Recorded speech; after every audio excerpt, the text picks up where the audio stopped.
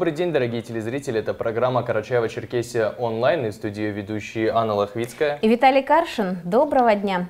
По традиции мы собираемся в этой студии для того, чтобы обозначить, обсудить и детально рассмотреть со всех сторон вопросы, которые волнуют многих жителей нашей республики.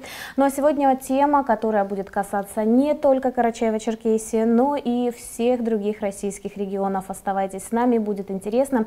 Программа будет любопытна любопытно и познавательно для семей с детьми и для тех, кто только планирует стать родителями. Ну а пока напомню о том, что у каждого из вас, наши дорогие телезрители, есть уникальная возможность задать вопрос эксперту в студии.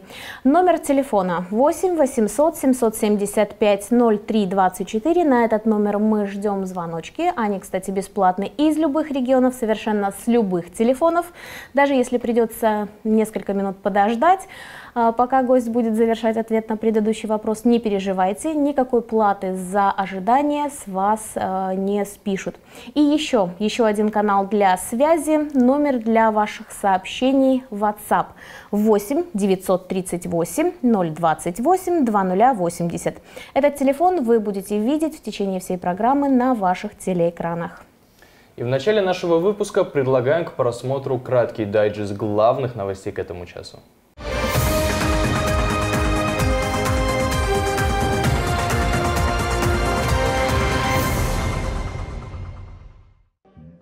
Черкесский сделает остановку «Эшелон Победы». Акция организована Министерством обороны и российскими железными дорогами. В период с 16 апреля по 8 мая эшелон образца 40-х годов проследует по всей территории Юга России, делая остановки в городах-героях, городах воинской славы, столицах субъектов Российской Федерации и узловых железнодорожных станциях. На каждой из 30 остановок, в том числе и в Черкеске, для местных жителей будут организованы экскурсии по выставочным экспозициям «Эшелона», выступления военных артистов, художественных коллективов. Также на железнодорожных станциях будут развернуты мобильные пункты отбора на военную службу по контракту, полевые кухни и выставки современных образцов вооружения и техники. Эшелон Победы стартует со станции города Батайска Ростовской области 16 апреля. Завершится акция торжественной встречей Эшелона Победы на железнодорожном вокзале города Ростова-на-Дону 8 мая в канун Дня Победы. Министерство цифрового развития, связи и массовых коммуникаций Российской Федерации продолжает всероссийскую акцию «Урок цифры». Очередной урок по теме «Безопасность будущего» запланирован к проведению в образовательных учреждениях Карачаева-Черкесии с 10 по 23 марта. Урок направлен на развитие ключевых компетенций в сфере цифровой экономики у школьников и на формирование навыков поведения в интернете. Также учеников научат основным аспектам кибербезопасности, в этом году организаторы хотят обратить внимание детей и подростков на риски, связанные со слабыми паролями, научить их отличать фишинговые сайты от настоящих, показать, чем может обернуться кража аккаунта и как оградить себя от мошеннической рекламы. Ожидается, что в Карачаево-Черкесии в уроке цифры примут участие 177 образовательных учреждений и более 43 тысяч учащихся.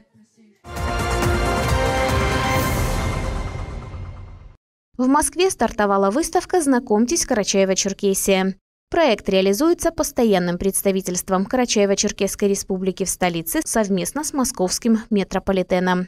Цель проекта заключается в ознакомлении жителей и гостей Москвы с богатой историей и культурой многонациональной республики, природными богатствами субъекта, которые предоставляют широкие возможности для всесезонного туризма, спорта и активного отдыха, Выставка также отразила вклад жителей Карачаева-Черкесии в Великую Победу. Экспозиция разместилась в 10 стеклянных колбах, расположенных прямо на платформе станции метро Воробьевы горы Сокольнической линии. Пассажиропоток данной платформы столичного метрополитена составляет 12 тысяч человек ежедневно. Выставка «Знакомьтесь, Карачаева-Черкесия» продлится до 25 марта текущего года.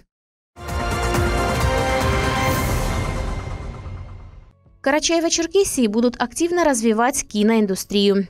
С предложением заняться созданием собственных кинопроектов главе региона в ходе прямого эфира с гражданами в ноябре прошлого года обратился заслуженный артист республики Рафаэль Мукаев. Глава региона идею поддержал и поручил Министерству культуры региона заняться этим вопросом.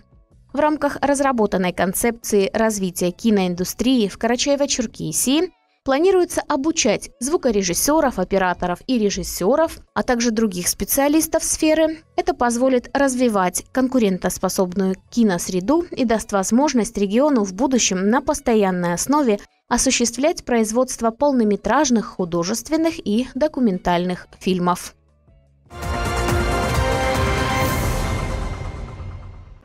На одной из улиц аула Псыш заменят ветхие водопроводные сети.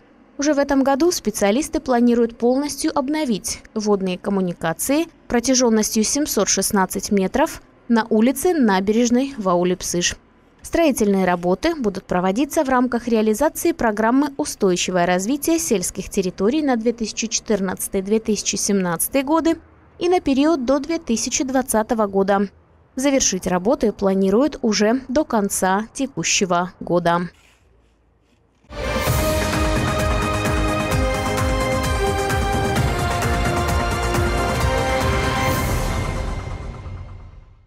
Ну а мы переходим к основной теме нашей программы. Государство всегда стоит на страже защиты прав семьи, материнства и детства. Одним из факторов особого внимания к матерям является реализация специальной социальной программы правительства России России «Поддержка семей с детьми а, материнским или семейным капиталом». Государственные сертификаты на этот капитал выдает Пенсионный фонд России. Ну что ж, программа достаточно широко известна, очень популярна. Она периодически претерпевает различные изменения, продлевается, в том числе, что не может не радовать э, жителей России. Ну и президент России Владимир Путин накануне, совсем недавно, 1 марта, утвердил федеральный закон, который вносит изменения в программу материнского капитала. Принятые поправки увеличивают сумму государственной поддержки семей, закрепляют новые возможности использования материнского капитала, делают распоряжение средствами более простым и удобным, а также продлевают срок действия программы. И сегодня в прямом эфире мы с вами подробно поговорим обо всех изменениях в законодательстве о материнском семейном капитале и ответим на все интересующие зрителей вопросы. Ну что ж, напомним еще раз, как вы, дорогие телезрители, можете задать интересующий именно и лично вас, а может быть ваших родных и близких, вопрос. 8 800 775 03 24 это телефон, звонок на него бесплатный из любых регионов, из любых телефонов, ну и номер для сообщений в WhatsApp 8 938 028 2080. А у нас в гостях в нашей эфирной студии начальник отдела по социальным выплатам Главного управления отделения Пенсионного фонда России по Карачаево-Черкесской республике Нина Борисовна Заузанова. Здравствуйте. Здравствуйте. Добрый день. Ну и первый вопрос, наверное, давайте начнем немного с истории. Как начинался этот проект, как давно, ну и какие изменения он претерпел?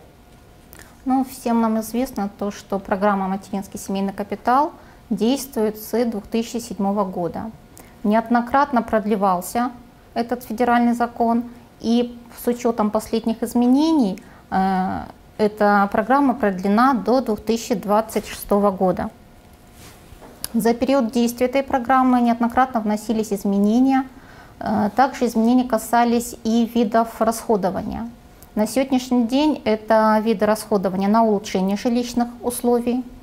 Э, улучшение жилищных условий подразумевает несколько видов расходования. Это имеется в виду и купля-продажа э, жилья, это имеется в виду и строительство, и реконструкция, как с привлечением э, организаций строительных, так и собственными усилиями граждан – также имеется в виду под улучшением жилищных условий это долевое строительство, участие в жилищно-строительных кооперативах, погашение кредитов, займов на приобретение и строительство жилья, как э, погашение первоначального взноса, так и погашение основного размера кредита или займа за счет средств материнского капитала. А, помимо улучшения жилищных условий, можно распорядиться, направив средства на образование детей, либо на дошкольный присмотр и уход детей. Кстати, по дошкольному присмотру и уходу законодателям также были внесены определенные поправки, которые позволяют э, обращаться до достижения правоустанавливающим ребенком возраста трех лет. Также до достижения этого возраста можно обращаться э, по направлению по погашению кредитов и займов на строительство или реконструкцию жилья. И можно обращаться по направлению на социальную адаптацию, интеграцию в общество детей-инвалидов. Это вот эта поправка, которую очень-очень долго ждали и лоббировали родители особенных детей, да. и государство пошло все-таки навстречу. Ну и еще один вид расходования, который это направление средств материнского семейного капитала на формирование накопительной части пенсии матери. Э, буквально с 2018 года вступили поправки, которые предоставляют право семьям, у которых э, низкий уровень дохода, начиная с января 2018 года, в которых имеются вторые дети, обращаться за получением ежемесячной выплаты из средств материнского семейного капитала. Я также напомню, что этот же закон – он реализуется по линии Министерства труда на уровне субъектов через органы социальной защиты. Только в том случае, если эта мера предоставляется на первого ребенка. То есть если э, первый ребеночек, тогда получается реализация идет через органы социальной защиты и выплата осуществляется из федеральных средств. Если же второй ребенок, начиная с января 2018 года, также из федеральных средств, но уже из размера материнского семейного капитала осуществляется эта выплата. Это вот основные изменения, которые были. А размер – это тоже немаловажный момент. Когда программа начиналась, все мы помним, стартовая а, сумма материнского семейного, семейного капитала была 250 тысяч рублей. И вот сейчас, уже в 2020 году, мы можем смело говорить о том, что эта сумма перевалила за 600 тысяч рублей. То есть все индексируется и все растет. Да, на самом деле эта сумма начиналась именно с этого размера. Ежегодно согласно федеральному закону проводилась индексация размера материнского семейного капитала, но начиная с 2016 года эта индексация была приостановлена до 2020 года. И вот в январе текущего года мы опять проиндексировали этот размер материнского капитала, и на сегодняшний день, в случае, если ранее не обращались граждане, и полный размер их не будет составлять 466 617 рублей. Если же было обращение за единовременной выплатой или за каким-то видом направления расходования этих средств, тогда индексируется остаток этих средств за минусом тех средств, которые они уже использовали. Ну вот э, много информации сразу для понимания. Мы будем подробно обо всех моментах э, э, когда наступает право на получение материнского семейного капитала, на какой размер э, государственной поддержки могут рассчитывать те или иные семьи в зависимости от численности семьи и количества детей, а также о правилах расходования и, может быть, эм, санкциях за нецелевое расходование этих средств, тоже мы сегодня поговорим. Ну и все-таки вот э, к современным новшествам и последним поправкам в закон, федеральный закон Э, о материнском семейном капитале. Какие преимущества дают эти поправки?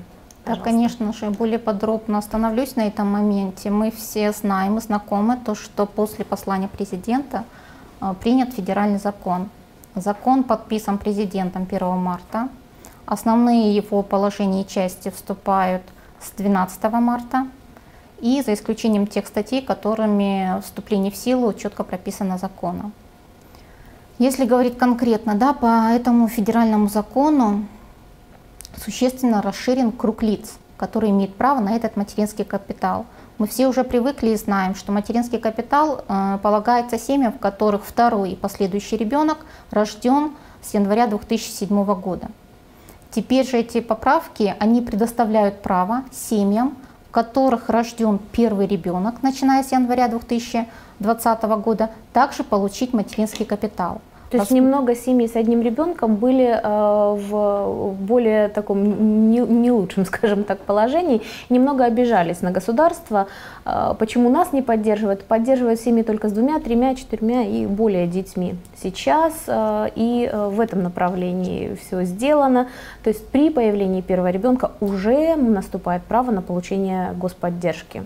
Да, я обращу внимание зрителей на то, что несмотря на то, что закон подписан был 1 марта, вступил в силу, основные его части вступили в силу с 12 марта, э, он распространяется на правоотношения, возникшие с января 2020 года. То есть те мамочки и те семьи, в которых уже был рожден этот ребеночек, либо усыновлен, в части усыновления имеет значение не дата рождения ребенка, а дата вступления в силу решения суда об усыновлении. То есть если ребенку, скажем, год, два, три или четыре, но он был усыновлен уже в 2020 году а, и позже, то тогда а, приемные родители, приемные семьи тоже получат вот такой государственный Именно дата решения капитал. суда, если после января 2020 года они также имеют право на материнский капитал. Размер на первого ребенка, рожденного усыновленного, будет 466 617 рублей. 466 617 э, рублей. А, скажите, пожалуйста, ну вот э, для многих это стало очень приятной новостью. Э, закон федеральный только вступил в силу.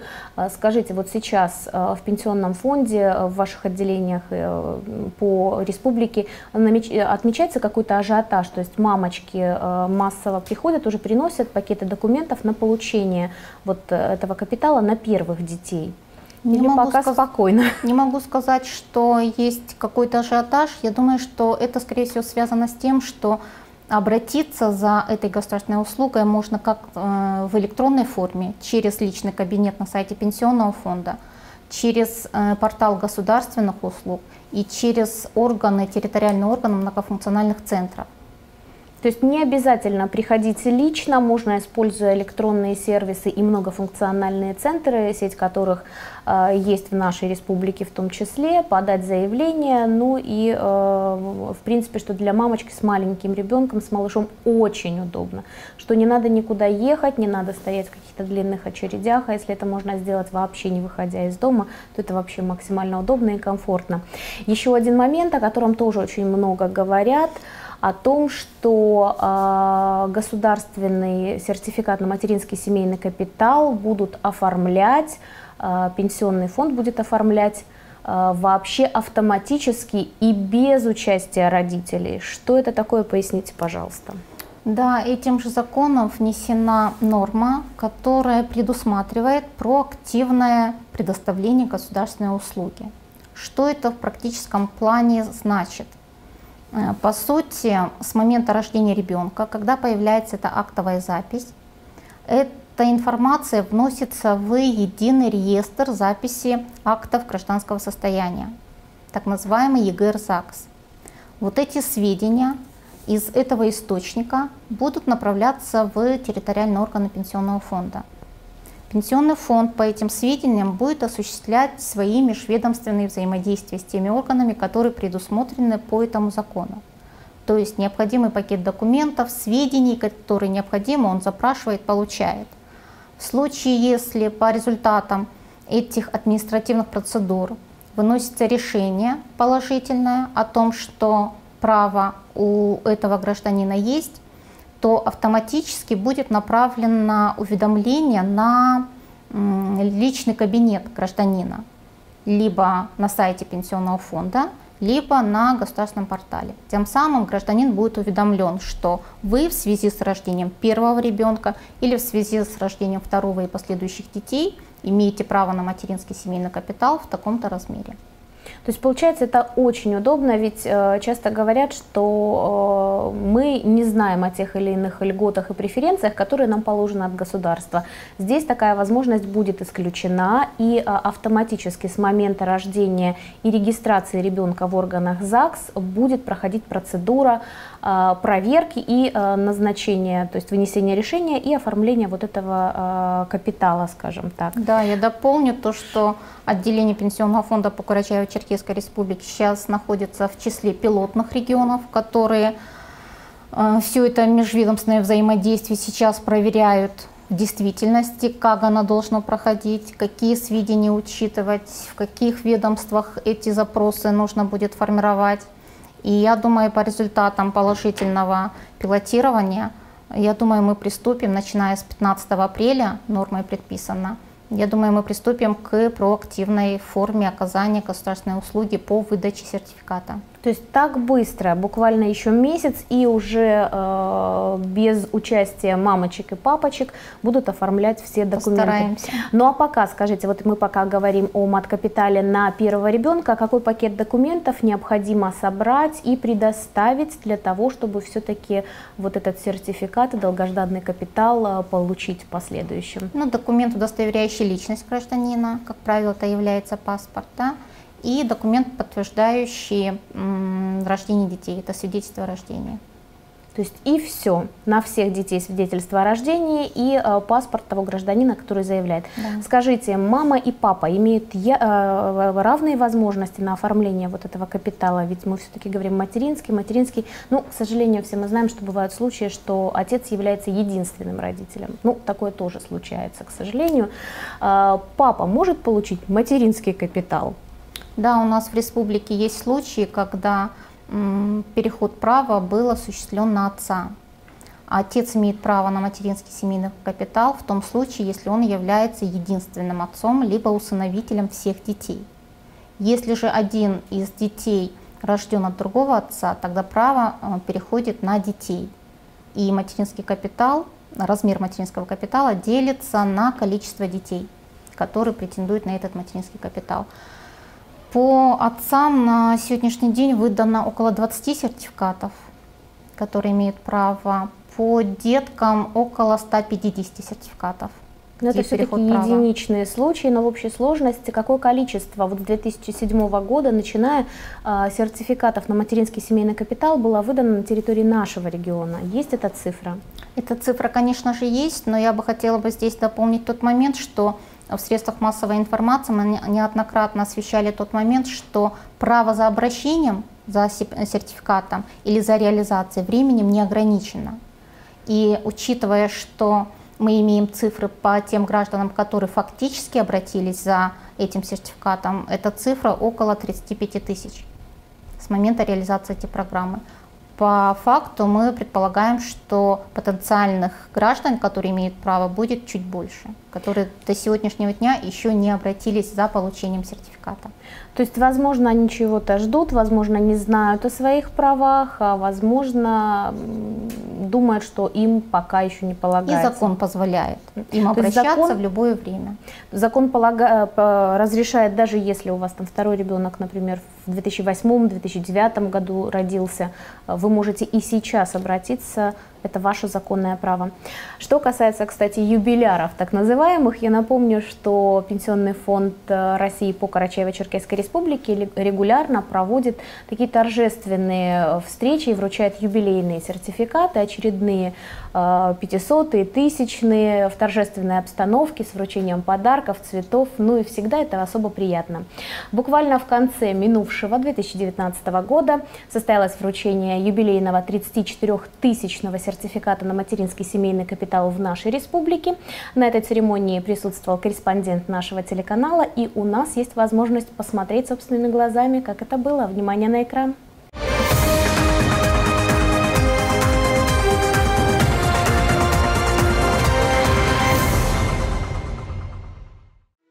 В семье Дураевых двое маленьких ребятишек – Адам и Амин.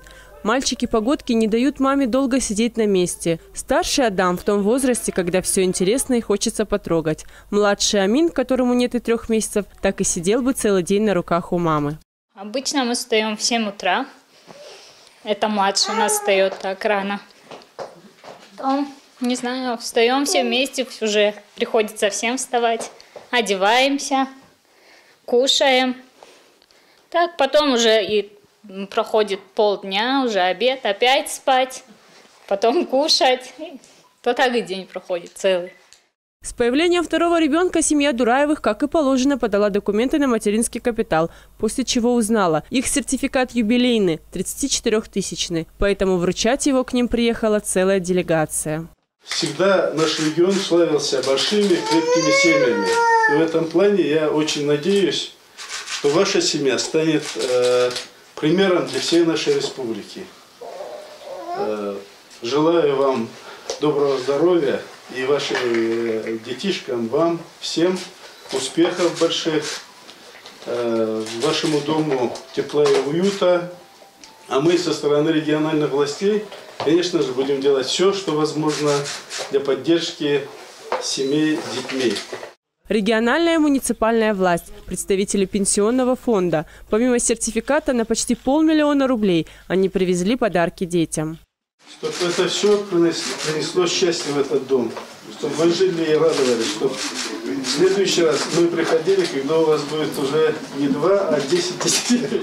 Самым востребованным направлением использования материнских денег в Карачаево-Черкесии по-прежнему остается улучшение жилищных условий. Семья Дураевых также не стала исключением. В их планах приобретение собственного жилья, и материнский капитал сыграет тут не последнюю роль.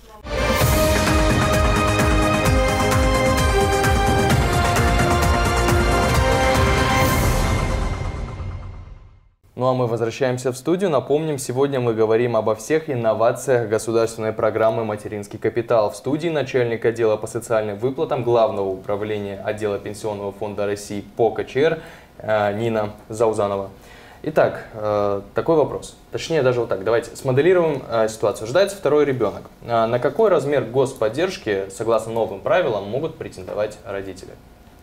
Но известно, да, то, что эта программа, она распространялась на вторых последующих детей, угу. рожденных с 2007 года. Учитывая новые поправки, которые были приняты, да, э, семьям, в которых будет рожден или усыновлен второй и последующий ребенок, начиная с января 2020 года, размер материнского семейного капитала будет увеличен на 150 тысяч. Угу. При условии, что ранее в семье это право не возникало. Что это значит? Э, известно то, что эта программа действует с седьмого года, и юридическим фактом является рождение и усыновление детей с января 2007 года по декабрь 2019 года. Здесь не имеет значения, семья обратилась, получила этот бланк сертификата, семья обратилась, получила только часть средств материнского капитала, остаются, остаются основные средства на лицевом счете. И, возможно, семья будет думать, что полностью не распорядилась, э, правом не воспользовалась, значит, тоже э, должны увеличить мне на 150 тысяч. Вот в этой части хотелось бы обратить внимание, что эти граждане на увеличение материнского семейного капитала не могут претендовать. То есть в случае, если второй ребенок рождается только с 1 января 2020 года, тогда еще дополнительно 150 тысяч к основной сумме вот этой 466 Второй и последующие дети угу. после января 2020 года, они будут иметь право на увеличение материнского капитала плюс 150 тысяч к основной сумме. Хотелось бы дополнить то, что до принятия этого закона, в принципе, по ранее действующей норме граждане обращались за получением сертификата, кто-то обратился уже и за распоряжением этих средств. Вот э, этим гражданам дополнительно обращаться в пенсионный фонд, либо в многофункциональные центры, либо дополнительно подавать заявление, доносить какие-либо документы не требуется. Пенсионный фонд на федеральном уровне автоматически этим гражданам э, увеличит размер материнского семейного капитала на их лицевом счете – если у гражданина появится интерес, на самом ли деле эти сум, эта сумма увеличена и вообще хотелось бы получить подтверждение, этот гражданин может через личный кабинет на сайте пенсионного фонда заказать справочку о размере материнского семейного капитала и увидеть эту сумму там, либо непосредственно именно в пенсионный фонд обратиться, и по обращению этого гражданина будет также выдана эта справка. Еще раз вот такой момент и моделируем ситуацию. Да? А, Карачаево-Черкесия э, регион с большими семьями, много детей часто бывает, это очень здорово. Но вот ситуация такая практическая, очень часто возникают вопросы именно по вот таким подобным ситуациям. К примеру, в семье есть двое детей. Они э, родились, э, ну скажем там, в 2008 и 2012 году, к примеру, да, скажем так. Семья получила сертификат на материнский семейный капитал, в той, в той сумме, в том размере, который был тогда. Но в 2020 году рождается третий ребенок. Скажите, пожалуйста, какова сумма вот этой государственной поддержки будет сейчас и будет ли она меняться в случае вот таком, вот, вот в такой ситуации? Вот тот самый момент, на котором я только что делала акцент. Увеличение размера материнского семейного капитала будет в семьях, в которых рожден Второй, как вы сейчас э, в примере привели, третий ребенок, в том случае, если право ранее не возникало. Получается, по вашему примеру, дети были рождены, правоустанавливающий ребенок был в тот период времени, и право на новый размер с учетом увеличения эта семья уже иметь не будет. То есть все действует для деток, которые появляются с 1 января 2020 года. Все изменения, надбавки и увеличение сумм только на вот этих детей полагаются. Да, получается так. Ну что, в принципе, э, достаточно понятно. Еще раз напомним, что пакет документов достаточно простой. В случае рождения второго ребенка в этом году это паспорт мамы в большинстве случаев и свидетельство о рождении э, всех детей. Да. Пенсионный фонд, МФЦ или портал госуслуг для э, оформления всех вот этих документов. Что касается сроков программы. Вы выше упомянули о том, что а, программа неоднократно продлевалась. Хочется услышать еще раз. А, то есть сейчас вот это пока новшество, нововведение, пока может быть где-то кому-то не очень понятно, но тем не менее эти новшества будут действовать до возможных новых поправок, но тем не менее до какого срока семьи, в которых будут рождаться дети, будут получать вновь и вновь эту поддержку. Да, программа продлена в очередной раз, и действие этой программы будет до 31 декабря 2026 года. То есть получается, если брать с момента начала, это 20 лет в общей сложности. Будем надеяться, что будет в разы больше, чем 20 лет, учитывая, что трижды точно этот срок продлевался. То есть получается, теоретически те дети, которые появились в 2007 году, подрос... Э, их родители получили материнский капитал, они могут вырасти и э, родить э, собственных детей и тоже стать участниками этой программы во второй раз, но уже как родители. В принципе, теоретически это возможно, но пока, пока только время. Что касается расходования средств, вот здесь тоже очень много возникает вопросов. Напомним, что с момента начала действия программы материнского семейного капитала было не так много направлений, но очень широко это обсуждалось, предлагались совершенно разнообразные предложения, вплоть до покупки земельных участков, разрешения на покупку автомобиля, заграничных путешествий, всего возможного. Но законодатель строго определяет, на какие цели законно можно расходовать вот эти средства господдержки семей с детьми. Давайте напомним, что это за направление. Направление – это на сегодняшний день по улучшению жилищных условий, которые включают в себя около 12 видов э, расходования, о которых мы уже поговорили, да? на образование ребенка, на, на формирование накопительной части пенсии матери и на социальную адаптацию и интеграцию в общество детей-инвалидов. По э, семьям, в которых рожден второй ребенок, начиная с января 2018 года, также еще один вид расходования предусмотрен – это ежемесячные выплаты из средств материнского семейного капитала в случаях, если семья признана семьей с низкими доходами. То есть такая выплата средств мат-капитала помогает семьям э, ну, поддерживать достойный уровень жизни, пока мамочка в декрете, я так понимаю. Э, давайте напомним, э, какие суммы имеют право получать такие семьи с несколькими детьми, и есть ли какие-то изменения вот в этой программе и мере государственной поддержки. То есть ежемесячная выплата из средств семейного материнского капитала. По этому направлению также буквально в э, декабре 2019 года были внесены соответствующие изменения, и они вступили в силу с января 2020 года.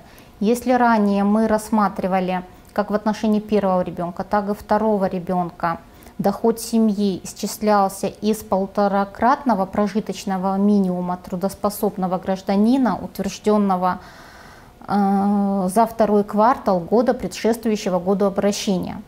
Скажу чуть проще, то есть в истекшем году за второй квартал утверждены прожиточные минимумы в каждом субъекте свои. Ранее для исчисления общего дохода семьи применялся полуторакратный размер.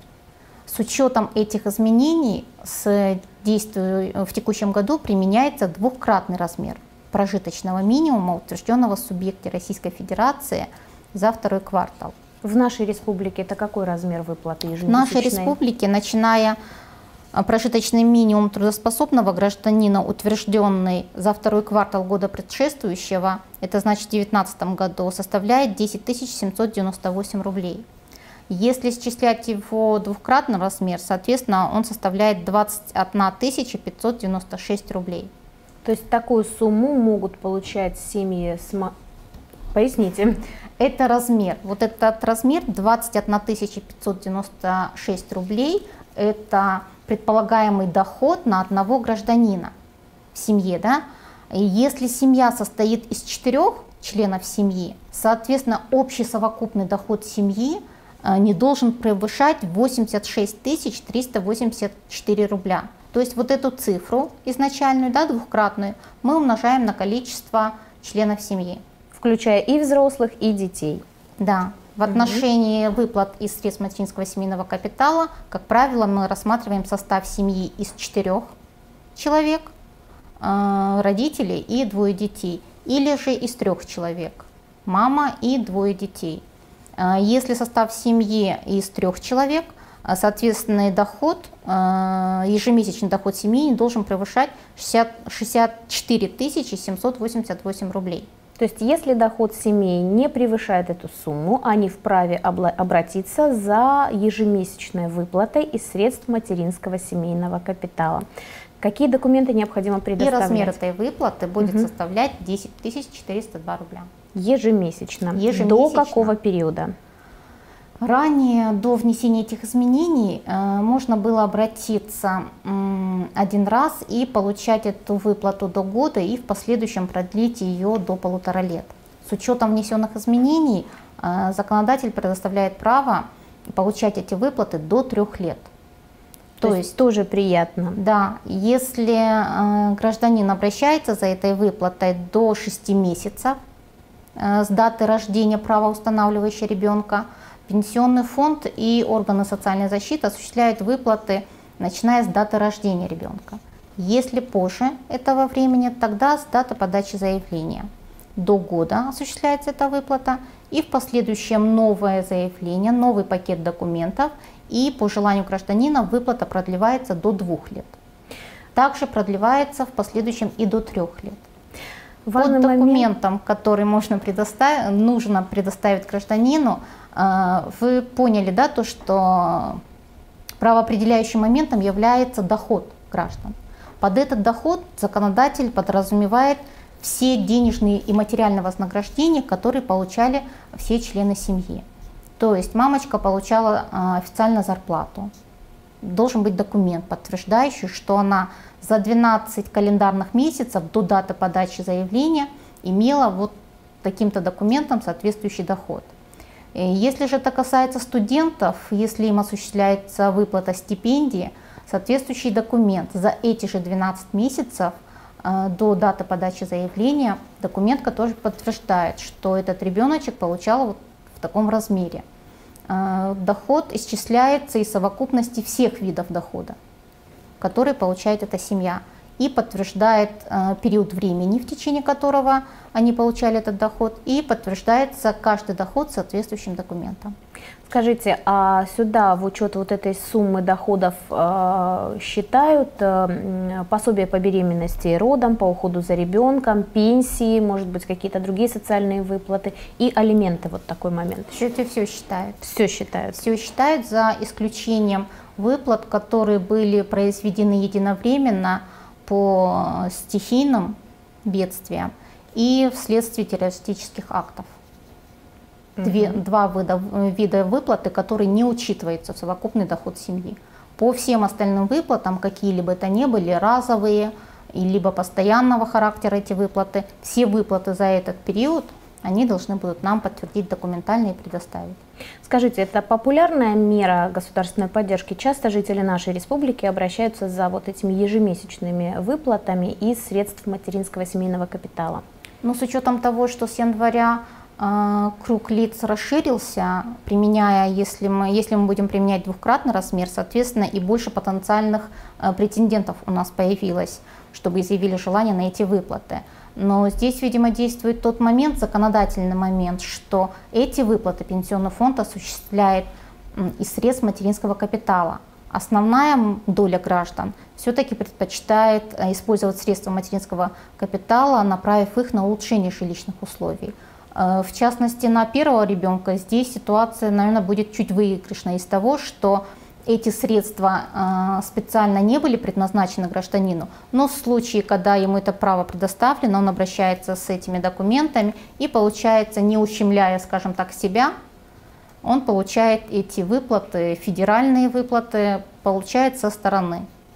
То есть получается это право выбора, никто никого не заставляет, каждая семья, родители в частности э, несут ответственность и решают для себя, нужна им такая выплата, а может быть сохранить полностью всю сумму на своем счету, а потом использовать на какие-то глобальные нужды, например, на улучшение жилищных условий. Да.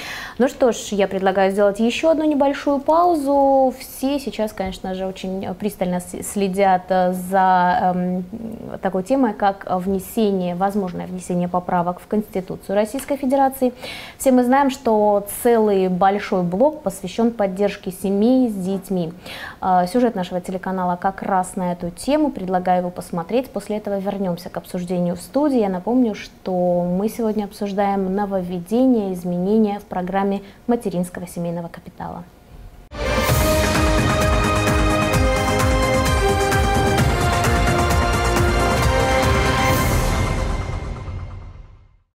Светлана Асачия – мама семерых детей. Самому маленькому нет и года. Светлана признается, что семья занимает в ее жизни самое главное место. Иногда, конечно, бывает сложно и финансово, и морально, однако счастье материнства перекрывает все проблемы.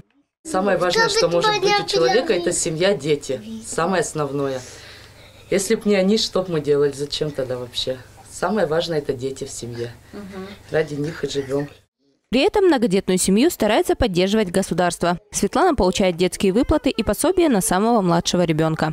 Пособия получаем до полутора лет и обычные детские. И на школьников проезд питания. Только у нас вот то, что плохо, то, что нам далеко добираться до школы. Они платят проезд 250 рублей на ребенка. У нас в день уходит только 300 рублей, 5 учеников.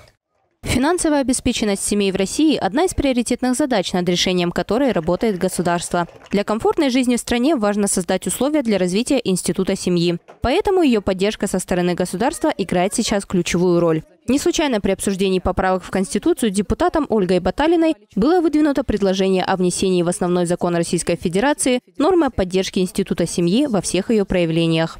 Семья, все, что связано с семьей, вот для э, подавляющего, да для абсолютного большинства россиян всех возрастов, это главная ключевая ценность. И, конечно, они считают, что сегодня эти вопросы в Конституции должны быть еще более выпукло отражены. Проанализировав в рамках нашей рабочей группы все, все поступившие такие семейные поправки, э, я предлагаю дополнить в Конституции, полномочия правительства Российской Федерации, это статья 114, следующей нормой. Э, в полномочия правительства входят вопросы поддержки, укрепления и защиты семьи традиционных семейных ценностей. Да, надо подумать, и я в принципе согласен с этим, надо только э, понять, где, в каком э, виде это сделать. Возможно, новые поправки, внесенные в Конституцию, в разы улучшат положение семей в России и пойдут на пользу всем нам. Ведь счастливая семья – это фундамент здорового общества.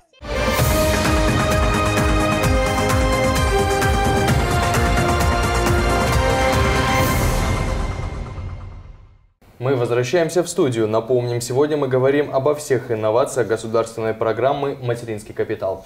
Ну и такой вопрос. А ни для кого не секрет, и всем известно, у, всех, у многих, по крайней мере, семей, особенно с молодыми, с маленькими детьми, есть э, кредиты, и посему такой вопрос. Можно ли направлять материнский капитал на оплату кредита через банк?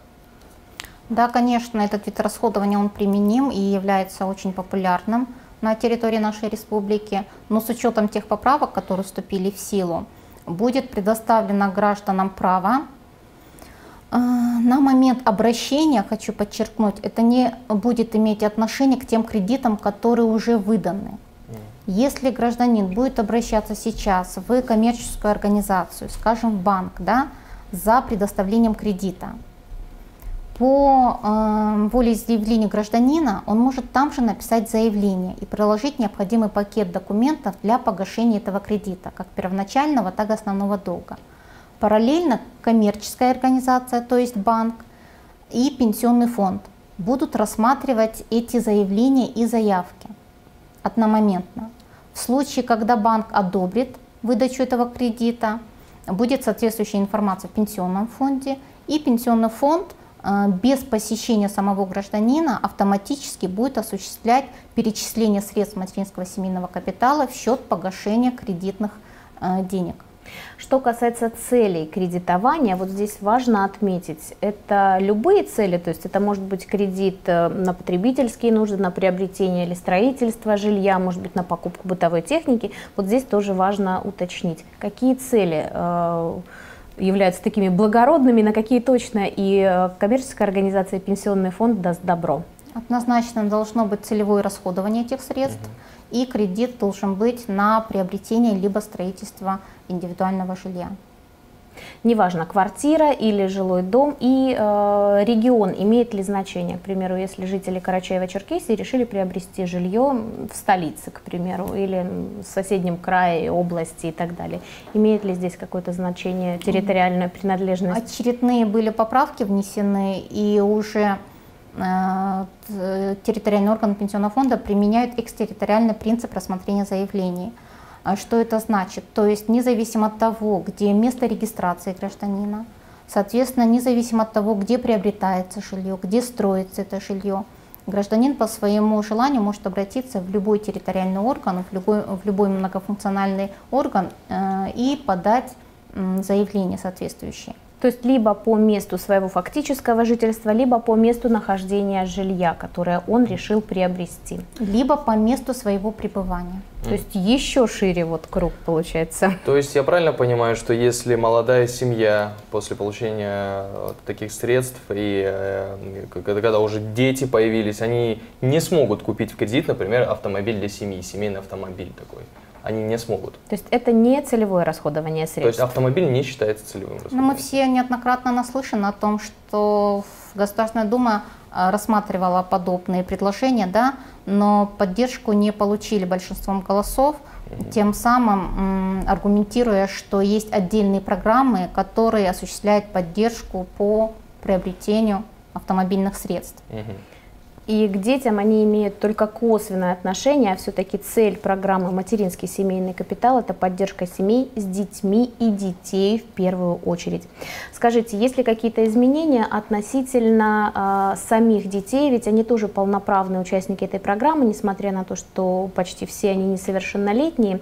Если я не ошибаюсь, ранее существовала обязанность у родителей при приобретении жилья выделять э, доли для своих детей в новом жилье, то есть чтобы э, квартира, скажем, условно приобретенная с участием средств материнского семейного капитала, частично хотя бы, но принадлежала тем самым своим собственным детям. Да, законодатель также внес в этой части поправки.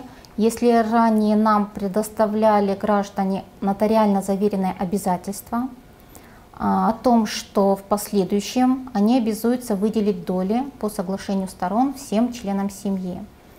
А, с учетом подписания нового закона а, сам документ этот, он исключен из перечня документов, который предоставляется. Но тем самым по-прежнему сохраняется обязанность граждан, в чьей собственности находится либо супруг, либо супруга, да, в чьей собственности находится это жилье, обязанность за гражданами сохраняется чтобы это жилье в последующем, либо на момент подачи этого заявления, э, уже было распределение долей по соглашению сторон на всех членов семьи. А сам документ, то, что он носит именно платную форму, он нотариально выдавался, законодатель пошел навстречу гражданам и этот документ как обязательно отменил. но право граждан выделять эти доли по-прежнему прописано, и оно по-прежнему сохраняется. Ну а обязанность контролировать э, вот, исполнение этой обязанности родительской, выделять детям собственным доли при приобретении вот этого жилья с участием а, средств материнского капитала, тоже остается. Правоохранительные органы вправе э, проверять выделили детям доли или нет, э, соблюдаются ли законные интересы детей или все-таки нет. Но если мы заговорили о возможных неправомерных моментах, давайте напомним, что достаточно часто и э, в средствах массовой информации мы слышим, и в социальных сетях э, видим, что некоторые граждане предлагают хитрыми способами, скажем так, обналичить средства материнского семейного капитала. Потом случаются уголовные уголовные дела, преследования. Что происходит в таких случаях? Давайте напомним о том, почему нельзя поддаваться на уловки вот таких псевдопомощников и чем это грозит тем семьям, которые решили таким образом, ну, скажем так, обналичить средства. Я разъясню, прежде чем сказать об ответственности, разъясню тот момент, что неоднократно принимались закон о том, чтобы выплачивать единовременную выплату. Как э, помнит население, это в размере 12 тысяч единовременная выплата средств материнского капитала была в 2009-2010 году. В последующем в размере 20 тысяч единовременная выплата была, в размере 25 тысяч была. Она была определена законом на определенный срок, в течение которого они могли обратиться и заявить об этой единовременной выплате, которые можно было расходовать на любые нужды семьи. И вот по ежемесячной выплате из средств материнского капитала, о которой мы говорили, также семья может расходовать на любые нужды семьи. Э, по другим направлениям, на улучшение жилищных условий, на образование, на накопительную, формирование накопительной части матери, на э, интеграцию адаптацию в общество детей-инвалидов. Эти все направления, они являются целевыми. То есть перечень документов, которые предоставляет гражданин, они должны подтверждать целевое расходование федеральных средств.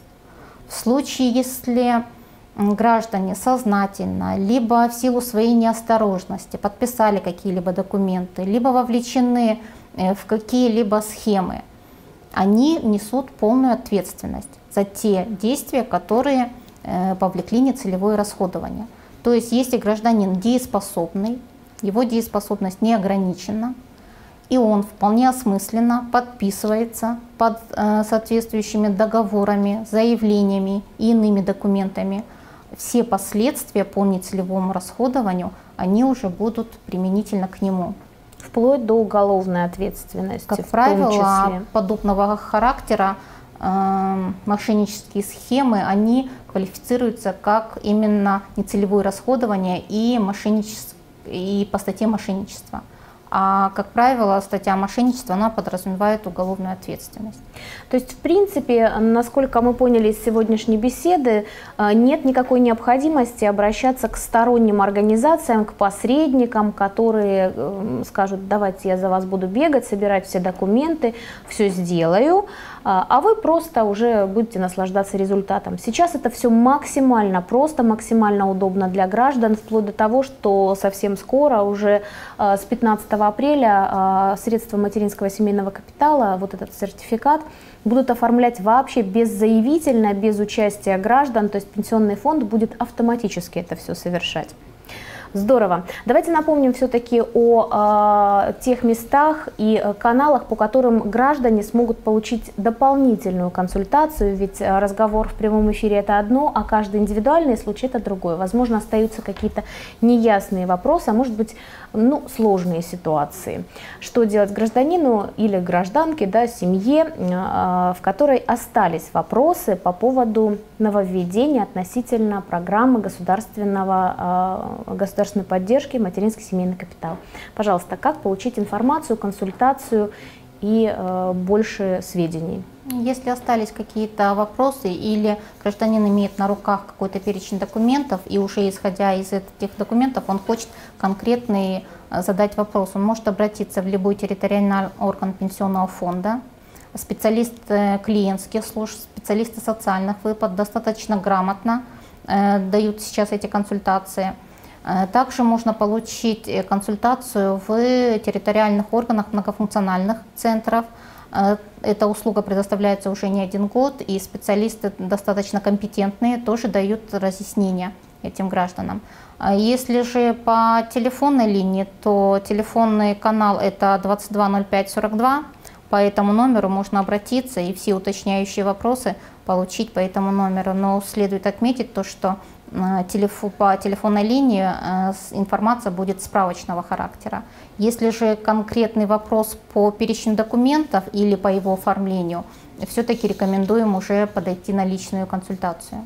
Нет ничего лучше личной консультации, когда специалист, глядя в глаза человеку, может ответить на любой вопрос, дать исчерпывающие ответы, чтобы э, и тревог никаких не было, и э, максимально радостно гражданин э, ушел из того или иного учреждения, в частности из пенсионного фонда, и воспользовался теми правами, которые предоставляет государство. Ну что ж, спасибо огромное гости нашей студии. Я напомню, что сегодня мы беседовали относительно нововведений в программе материнского семейного капитала. Ну что ж, э, остается пожелать жителям нашей республики, чтобы ваши семьи прирастали малышами, но государство поддержит. Ну а наш эфир подошел к концу. Спасибо, что оставались с нами. Следующий выпуск Карачаева-Черкесия онлайн выйдет завтра в 15.00. До свидания и хорошего вам дня.